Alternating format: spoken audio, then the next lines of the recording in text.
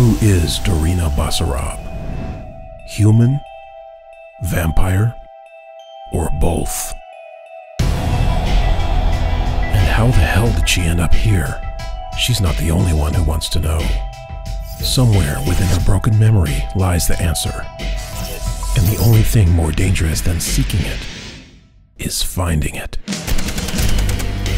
From New York Times bestselling author Karen Chance comes a tale of supernatural warfare and dangerous desire.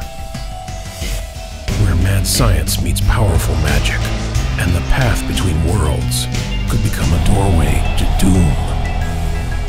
The Midnight's Daughter saga continues with Fury's Kiss.